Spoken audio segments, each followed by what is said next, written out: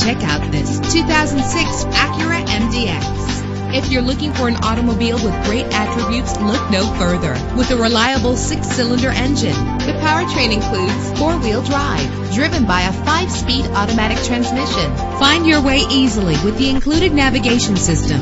Stand out from the crowd with premium wheels. A premium sound system is just one of the benefits of owning this vehicle. The anti-lock braking system will help deliver you safely to your destination. Heated seats make cold weather driving more endurable. Let the outside in with a power sunroof. And memory settings are one of many features. Our website offers more information on all of our vehicles. Call us today to start test driving.